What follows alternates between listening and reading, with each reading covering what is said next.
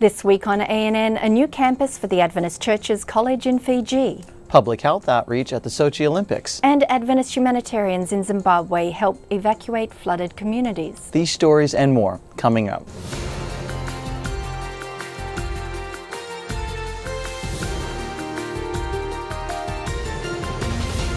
This is ANN, a service of the Seventh day Adventist World Church. Thanks so much for joining us this week.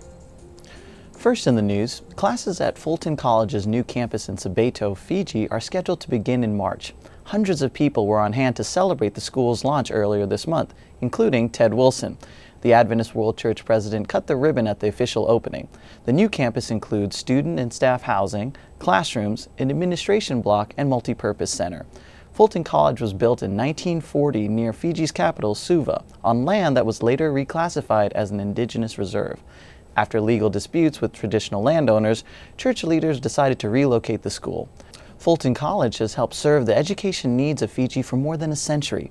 Administrators say its new location, 15 minutes from the Nadi International Airport, is ideal.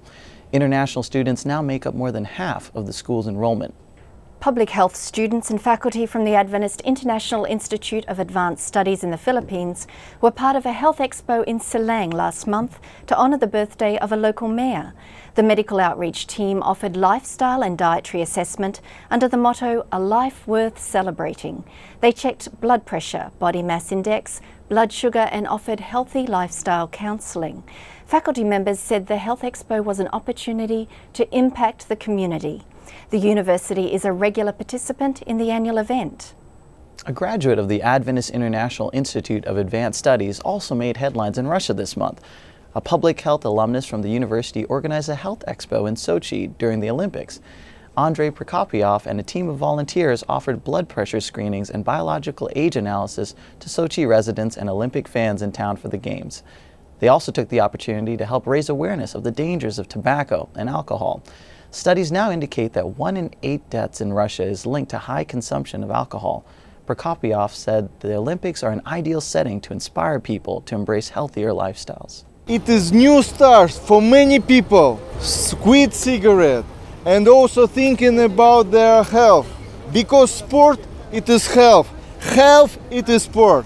Adventist humanitarians are supporting the evacuation of thousands of families in central Zimbabwe after torrential rains led to the partial collapse of an unfinished dam on the Tokwe River. Local observers say water continues to build up in a huge reservoir behind the dam, triggering widespread flooding upstream and threatening more than 60,000 families downstream. The Adventist Development and Relief Agency is helping thousands of families move from the flood basin to higher ground at the Chingwizi camp for displaced people. ADRA officials in Zimbabwe say there is an urgent need for sanitation facilities and clean water at the camp to prevent the spread of disease. Another concern is the lack of schools near the camp. Discussions are underway to establish temporary classrooms to keep students from falling behind during the first term of a new year. Adventist health professionals and outreach leaders called for a rebranding of the church's traditional medical missionary work at this year's North American Health Ministry Summit in the U.S. state of Florida. They say comprehensive health ministry can bring healing and wholeness to churches and communities worldwide. This year's summit outlined sample ministry roles for health professionals, pastors, educators, young people, and Adventist community services. Comprehensive health ministry follows Christ's method of meeting physical needs before spiritual ones. Adventists in Jamaica say the proposed amendment of labour laws in the country could discriminate against religious employees. Adventists and representatives from other Sabbath keeping congregations in Jamaica called on legislators not to pass the Flexible Work Arrangement Bill until religiously observant employees are guaranteed a full 24 hour day of worship. The bill would allow employers and employees to negotiate a flexible work week as long as no single work period exceeds 12 hours. Adventists are worried non traditional work weeks could encroach on Sabbath hours. Everett Brown, president of the Adventist Church in Jamaica, said no employer should have the right to determine whether an employee works or worships on any given day. The bill is scheduled for vote in Parliament at the end of March. And finally, in the news this week, the president of the Adventist Church's Trans European region has announced plans to retire in July. Bertil Wicklander has led the church in Central and Northern Europe for nearly two decades. In a statement, Wicklander said he leaves the position with much gratitude to God and my colleagues. Wicklander provided leadership during a time marked by two realignments of church territory. Colleagues say he helped the church in Europe redefine its mission, vision, and purpose. Adventist World Church President Ted Wilson will chair a committee to elect Wicklander's successor. Coming up is the Bible's description of judgment at odds with a compassionate God. An Adventist theologian weighs in.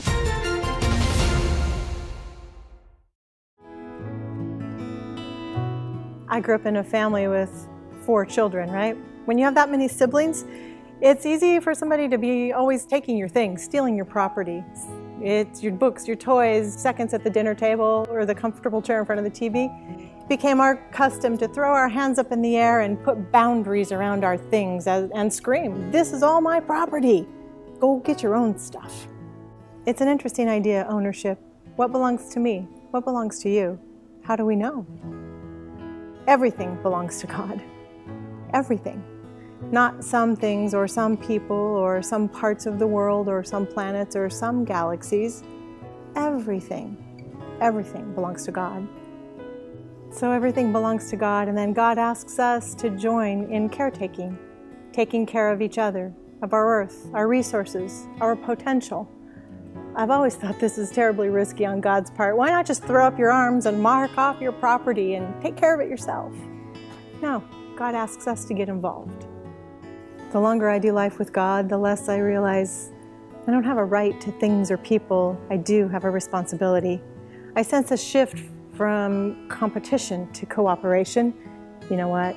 This is a much larger and rewarding way to live life.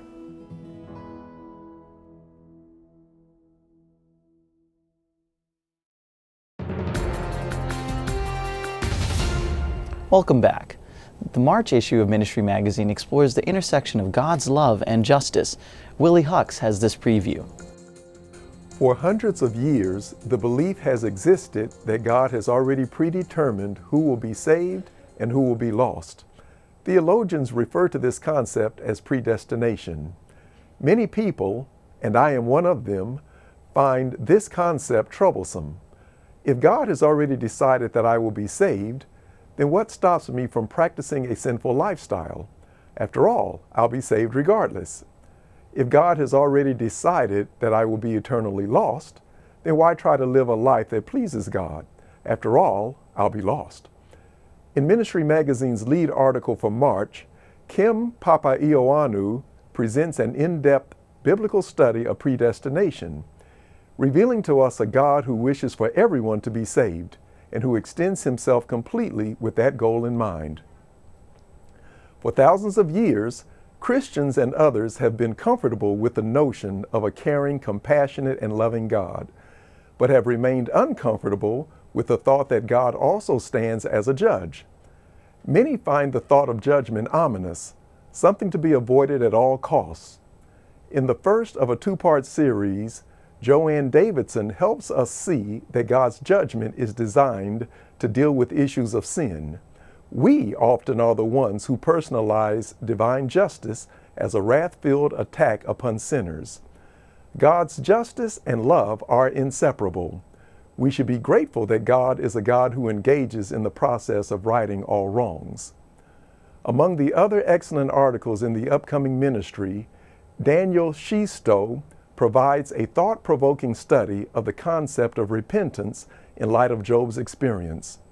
Why would someone whom God declared to be blameless and upright in the beginning of the story need to repent at the end of the story? As always, we hope you will be blessed as you read each issue of Ministry. Adventists believe church co founder Ellen White was inspired by God during her ministry. On this month's feature from the White Estate, Chantel Klingbeil explores to what extent a prophet's own words and experiences help shape God's messages. What is inspiration? How did God inspire people to write the Bible? Or what about a modern day prophet such as Ellen White? How did God inspire her? Some believe that the writings of the prophets are the exact verbatim words as spoken to them by God. This is referred to as verbal inspiration. As if a manager was dictating a message to his assistant who writes it out exactly as it is spoken. In this case, the prophet is simply used as a pen to put the words down in ink.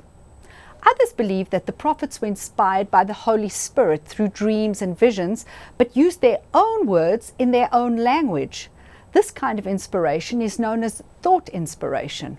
In this case, the prophet is more than a simple pen.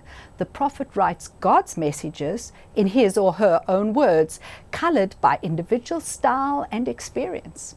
So, how did Ellen White experience the process of being God's messenger? She says, I am as dependent upon the Spirit of the Lord in writing my views as I am in receiving them. Yet, the words I employ in describing what I've seen are my own, unless they be those spoken to me by an angel, which I always enclose in marks of quotation. To assume that God has used his prophets as his pen, bypassing their individuality, to take dictation would make the prophets little more than robots. A robot can be programmed, but it cannot be inspired. God doesn't use robots. He uses people. He works through his prophets using their unique voices and lives, molded by him to receive his visions and take his message to others. A movie that illustrates the biblical account of creation is now available in four languages, and new languages are coming every week. Arnaud Leclaire has more on this week's edition of Keep It Real.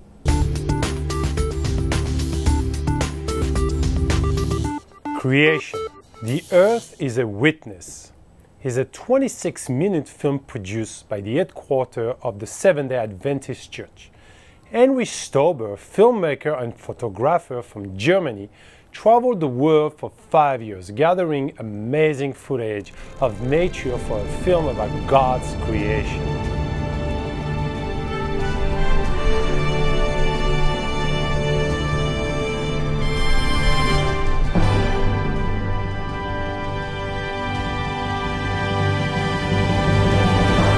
Went in about five continents, uh, more than 70 countries. Um, the footage I shot were mainly for the first days in Iceland. I, I went there numerous times. Uh, a lot of material I captured in Africa, South America, Asia, Australia, Europe, and I had a privilege just traveling around. This is the great thing. Those experiences I cannot share, but I can share the outcome, the footage that was captured there, sometimes waiting for days, sometimes waiting for weeks to get the right shot. And not all the, the, the, footage I shot, uh, not all the footage in the video I shot, I also bought some clips that was necessary because after all, I did photography for many, many years. So in total, I traveled the world for, for around 15 years. But that footage which is in the movie is done on a period of about six and a half years. This film will be soon available in 99 different languages. To view this film and download it, visit daretobelieve.com. You can watch an extended version of this interview at vimeo.com slash channels slash keep it real. The book Beyond Imagination answers questions about the universe and human existence from a new perspective. Pacific Press Publishing Association sent this month's ANN book review. Beyond Imagination explores the wonders of God's creation, the incredible vastness of the universe, the astounding marvels here on this earth, and the intricate complexity of the human body. This book describes not just the wonders of life around us, but the wonders of our own existence. Beyond Imagination shares with the reader the relevancy and urgency of the first angel's message. The Creator is coming soon to judge the earth. Although sin has marred God's handiwork, He will restore His creation through the wonderful plan of salvation. Beyond Imagination addresses the big questions that people have struggled with throughout history. Our missionary book for 2014, Beyond Imagination, will take the reader on a journey of discovery answering the deepest questions of the human heart and revealing a remarkable love that is beyond imagination. Adventist professors at Montemorelos University in Mexico shared how the Bible informs their teaching at a recent conference. Lisa Beardsley Hardy reports. We recently completed a conference at Montemorelos University in Mexico. Montemorelos University is one of the sites for a medical school, and it also has schools of education, music, and other areas. The conference was a unique one in that the entire campus participated, all the teachers in all of the disciplines, and even administration, the president, the vice president, the president's wife. We spent the mornings reviewing the biblical foundations for Adventist education. How can we know what is true? And then there were some presentations on specific areas like science and faith. And what about political science or history and the Bible? In the afternoons, there were panels and workshops during which the participants reviewed and sat with the presenters who critiqued their papers. They wrote papers about how the Bible informs their teaching, whatever that discipline is. It might be music, or it could be history, or it could be educational administration. Then it concluded with each of the participants, each of the teachers, presenting this to all of their peers. This conference was an inspiration to me to see how individuals with such expertise in their own areas took the Bible very seriously, studied it deeply, and then applied it to their own area. Montemorelos University in Mexico. Still ahead, advice on respecting a married couple's decision not to have children. But up next, tips on making your website load faster.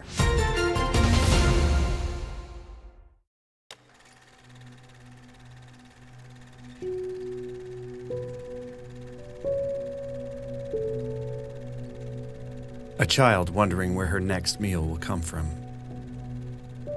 A woman without a home, forced to sleep in the street. A forgotten grandparent with no familiar face to brighten their day. A family unable to care for their everyday needs. People that we pass every day but have stopped seeing. It's a human problem. Today or 2,000 years ago, in Uganda or America, China or Brazil. Instead of passing by, what would happen if we, Seventh day Adventist youth, stopped and helped? If each of us in our own corner of the world reached out to those in need and made a difference in being the hands and feet of Jesus. On Sabbath, March 16, 2013, we tried an experiment. Instead of going to church, we, the Adventist youth, went out and lived the sermon in our towns, in our countries, in our world. In 24 hours, 8 million youth made an impact in others' lives, bringing the gospel to our communities through acts of kindness. This year, we can do more. We spend most of our Sabbath studying what it means to be followers of Christ. It's time to take one Sabbath and live out the sermon. This year, we can touch a life we can transform a community. We can change the world.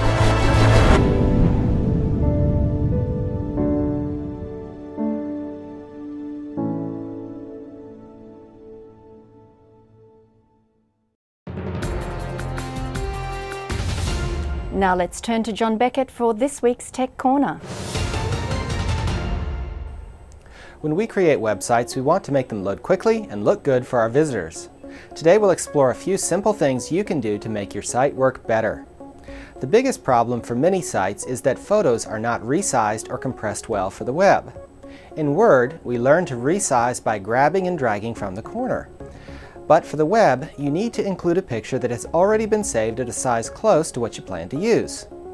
Web content management systems like NetAdventist sometimes handle this resizing automatically, but many do not.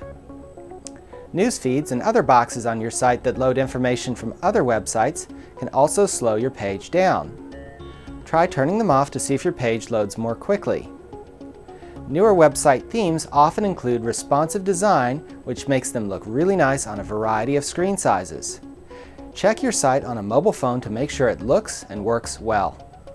For more in-depth view of how your website performs, I recommend Google Chrome's Developer Tools and the free website performance tool called YSlow.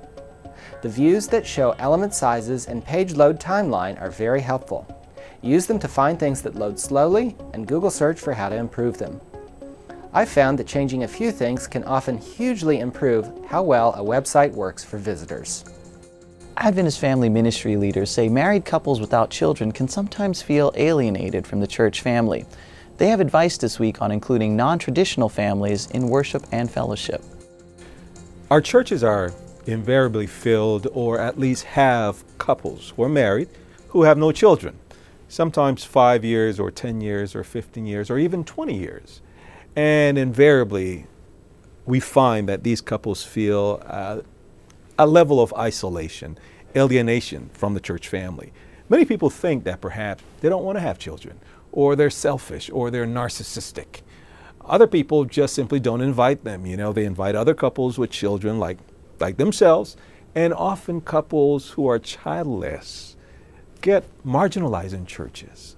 What should we do with this? What should be our approach? Yeah. Well, the first thing I think a church family needs to do is to be just that a family. And so in family, we love each other, we nurture each other, we care for each other. And there are certain things that we want to be careful of, that we don't um, pry into areas that's really not a part of our concern. Um, and we can um, still love people and embrace them without getting into their business. We also need to be very careful about not asking insensitive questions. I think it's too easy to continue to say to a couple, when are you going to have children? And you and, have no idea that they may be infertile. And you have no idea that they may be infertile. Also, a couple may make the decision not to have kids, and that decision needs to be respected as well and not treat them as if they are just people outsiders, leprosy. right? Yeah. And one last thing I wanted to say it's really important to invite childless couples home, even if they don't have kids, because there's a tendency to only invite families that look exactly the way our own families look. The reality is, we're the people of God, we're the church of God. We need to be family. Everyone is family in church. Whether you have children or not, whether you're married or not, let's just be family. Let's be kind, let's be compassionate, like Jesus. So our church can be strong and we can reach out with love to our community. Now let's turn to David Trim for a look at Adventist history. This week, an education community in the southern US grows with the launch of a small Adventist academy. Welcome to This Week in Adventist History.